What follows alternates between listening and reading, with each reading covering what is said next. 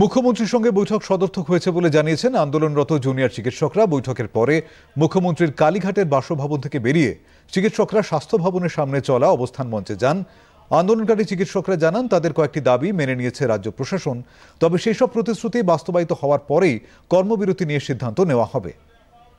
যে বৈঠকের জন্য যাওয়ার কথা ছিল, প্রথম থেকেই আমরা বলেছিলাম যে দুজন দ্বিপাক্ষিক একটা মিনিটস নিয়ে একটা আলোচনা হবে। আমরা গিয়েছিলাম।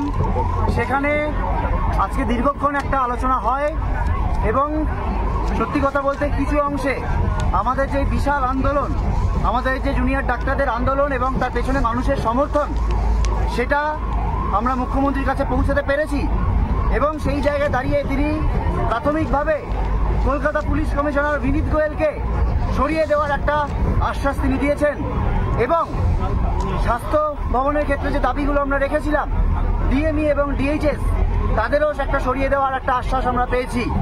কিন্তু এই যে প্রত্যক্ষ এবং পরোক্ষ তথ্য প্রমাণ লোপাট এবং দুর্নীতি হোক এবং এই থ্রেট হোক সিন্ডিকেট হোক, তার যাদের একটা প্রশ্রয় হয়েছে, সেই প্রিন্সিপাল হেলথ সেক্রেটারি সে বিষয়ে কোনো সিদ্ধান্ত তিনি নিতে পারেননি।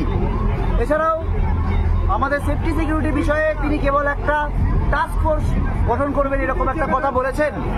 কিন্তু আমরা স্পষ্টতই জানিয়েছি, কিন্তু আমরা স্পষ্টতই জানিয়েছি যে কেবলমাত্র একটা টাস্ক ফোর্স গঠন করে এই সমস্যার সমাধান নয়, কেননা সেফটি সিকিউরিটি সংক্রান্ত বিষয়ে আমরা যে জিনিস বলেছিলাম, যে শুধুমাত্র বাইরের জিনিস নয়, বাইরের থেকে সিকিউরিটি নয়, যে ইন্টারনাল থ্রেট এই যে সিন্ডিকেট রাজ মাফিয়া রাজ, গুন্ডা চক্র, দুষ্ট চক্র, তাদেরকে একটাভাবে উপরে না ফেলতে পারলে তার জন্য প্রয়োজন একটাভাবে গণতান্ত্রিক পরিষদ তৈরি করা।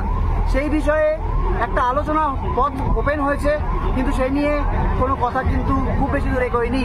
আমরা ফার্দার ডিসকাশনে পরে বুঝতে পারি এরকম একটা কথা হয়েছে। আমরা পথ খোলা রেখে আমরা পথ খোলা রেখে এসেছি আমরা পথ বন্ধ করতে চাইনি। আমরা যেহেতু সদিচ্ছার একটা ব্যাপার চলছে আমরা পথ খোলা রেখেছি।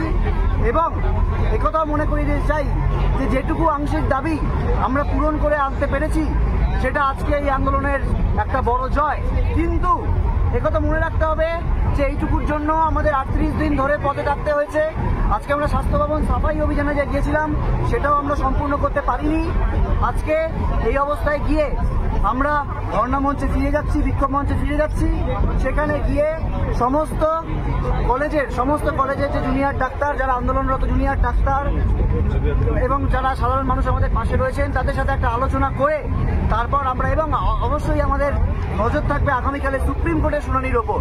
এবং অবশ্যই যে কিছু আলোচনা হয়েছে, সেই আলোচনা যতক্ষণ না বাস্তবায়িত হচ্ছে সেই বাস্তবায়নের ওপরেও আমাদের নজর থাকবে যে কতক্ষণে কত দিনে এই বিষয়টির একটা বাস্তবায়ন হয়, সেদিকেও আমরা তাকিয়ে রয়েছি। আমাদের আন্দোলন, স্বাস্থ্য ভবনের সামনে যেরকম আমাদের অবস্থান বিক্ষোভ চলছে এবং আমরা যে কর্মবিরতিতে আছি, আমরা আমাদের কলেজের সমস্ত ছাত্রছাত্রীরা, নার্সিং, মেডিকেল বন্ধুরা, যারা এই আন্দোলনের সাথে সরাসরিভাবে যুক্ত, তাদের সাথে সম্পূর্ণরূপে আলোচনা করার পর আন্দোলনের এবং আমাদের কর্মবিরতির গতি প্রকৃতি সম্পর্কে সুনির্দিষ্ট সিদ্ধান্ত নেব।